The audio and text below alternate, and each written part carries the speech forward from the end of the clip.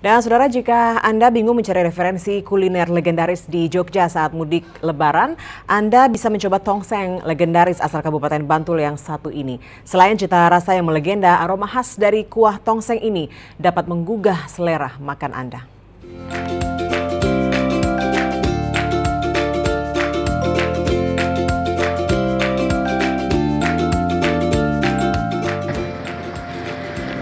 Dua puluh ribu di Jogja dapat makan apa?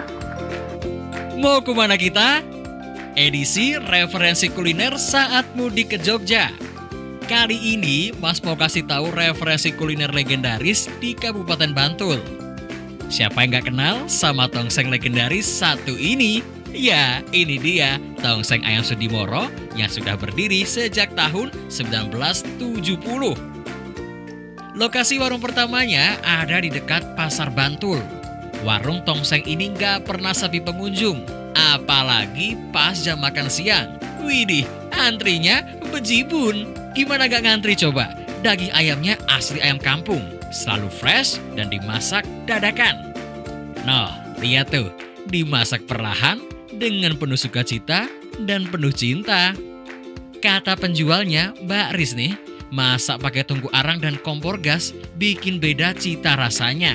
Kalau masak pakai arang, aromanya lebih sedap, tingkat kematangan daging pas, bahkan kuah yang bahan dasarnya santan ini tidak cepat basi.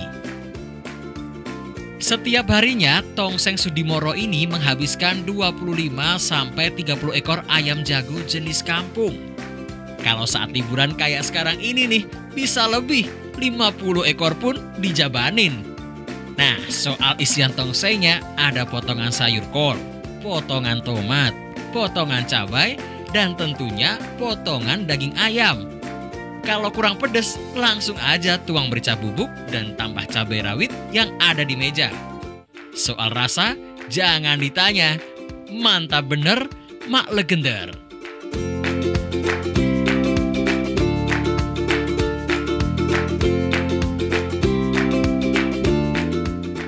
Harga, lagi-lagi jangan ditanya, ramah di kantong. Rp20.000 udah dapat nasi, tongseng ayam, dan juga minumnya. Soal jam buka, setiap harinya mulai setengah tujuh pagi hingga jam 3. Kalau saat lebaran kayak gini, buka mulai H plus 4 lebaran. Tipsnya kalau mau makan di sini harus sabar dengan antriannya karena emang serame itu, apalagi pas jam makan siang. Selebihnya patut dicoba bersama keluarga di hari raya. Husen Jayanegoro, Ucu Andritama melaporkan.